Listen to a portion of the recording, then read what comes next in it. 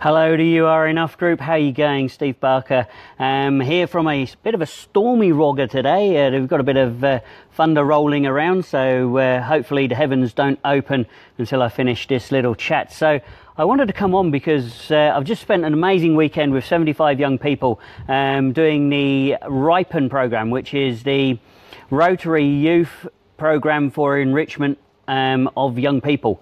So basically, you know, the, the 75 people came along um, for a, a, camp at the weekend, and um, together with other uh, Rotary instructors and that, we were able to, to help these young people develop and grow their own um, toolbox of life skills.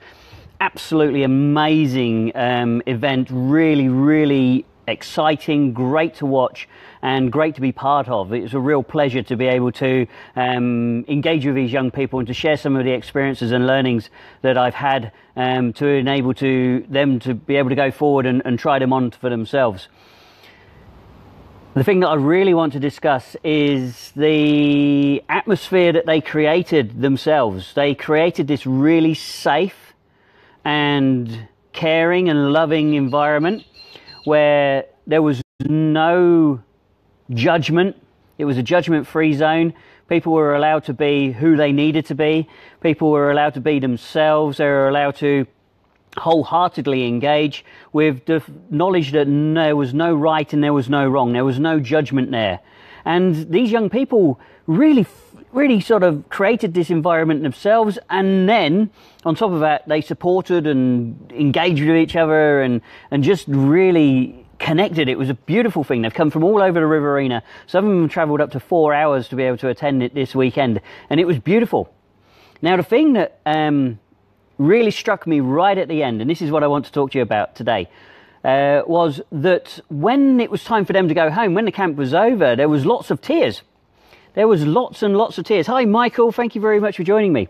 There was lots of tears from some of the some of the young people who were there, and Hi Astrid, how are you? Yes, good afternoon to you too. So yeah, there was these tears from these young people, and um, some of them were actually sobbing. You know, you know when, you know when you cry so hard that you can't get your breath. Well, you know, a couple of these these young people were doing that, and I was amazed at the uh, at the impact. And I went over to check that they were all right and to see how they were going, and. Um, as we got involved in the conversation, it became clear that they didn't want to go home. They were having such a great time. They'd be able to create this environment and they wanted to stay within that environment because it was safe. It was judgment free. They were supported and loved and encouraged. Um, and they, uh, they, they, they really got into the whole thing. And then when they realized that they had to go back, they had to go back to their normal environments, their families and their, their school worlds, um, reality hit home that that, that, that bubble was just about to burst. And you know, I could relate to this. You know, we, we've all had those moments where we've had a, a, fantastic experience, whether it be a holiday, whether it be a learning experience, whether it be just hanging out with your friends over a weekend, and then you realise you've got to go back to the drudgery of day to day life. You've got to go back to school. You've got to go back to work, um, and you've got to deal with those people that you know don't really um, float your boat, don't really get you. They judge you. You know, they, they may um, intimidate you. There could be a chance of bullying going on there, and you know, what I said to these young people, and I took this from um, a guy called David Goggins. I've talked about David Goggins before, um, an elite marathon runner, an ultra marathon runner, and uh, the thing that I take away from him, the thing that I like to model, is his use of the cookie jar.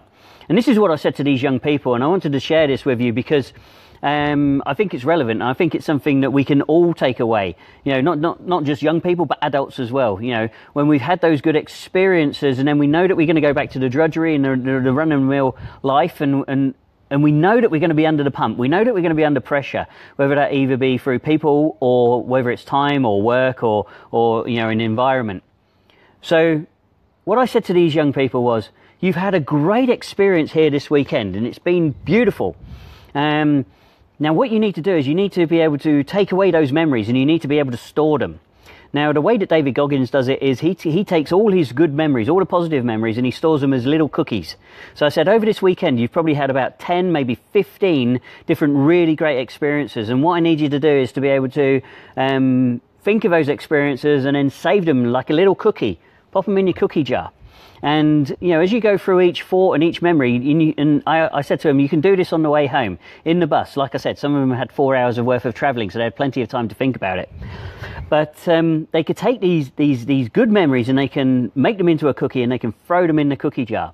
And then when the going gets tough, when you when you're back in that real world, you know, when they're back in school or in an environment that's, that's giving them um, not the safe environment that they had when they were in, in at the RYPEN camp, but um, you know there could be bullying, intimidation, there could be pressures of family life, there could be uh, exam pressures, there could be all sorts of constraints. I said what you need to do is when you when you're starting to feel yourself go down, is you reach into your cookie jar, you reach into your mental cookie jar, you take one of those cookies out, and you remember the good time that you had. You remember that feeling, and then you try to re- reattach yourself to that feeling. And then what that does is it just boosts you up. It's just like having a little snack, giving you that little bit of energy just to push you through that moment of um, of doubt or fear or um, concern.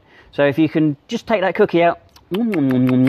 Yep, eat your cookie, and then it just re reinvigorates you, rebolsters you, and keeps you pushing forward. And I said to him, it is really important that you keep moving forward and um, you know they, they said, "Wow, that's a great analogy." And as I as I drove home yesterday afternoon, I thought, when I get a minute, I'm going to jump on Facebook and I'm going to tell the Are Enough group about this because you know these young people they were they were so inspired. They were you know they've gone away with some some great connections and some great understandings that they realize that they can be themselves. They don't have to worry about the um, the impressions of other people. They don't have to worry about the fears of being judged, you know, because they now know that everybody else has got those fears. And if they put themselves out there, if they, if they extend something, if they put an idea out there, then generally it's going to be received by somebody because that other person is actually thinking themselves, shit, everybody's thinking about me. And, every, you know, and they start to worry about themselves. And as soon as they see, you know, a gesture, they'll, they'll, they'll latch onto it and go, yeah, that's a great gesture. Thank you very much. You know, and then it rolls on from there. So they've been able to take away, this is their greatest takeaway from the weekend. But like I said, said, the, the, the, emotion at the end of the camp really blew me away, and uh, it just went to demonstrate how strongly these guys had, uh, had contacted and committed themselves to this group that they felt that it was such a safe environment that they didn't want to leave.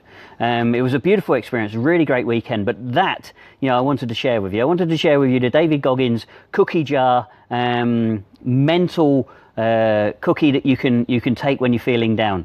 So that's you know if, if you do experience those feelings you experience them quite a lot. You need to go away and you need to fill your cookie jar.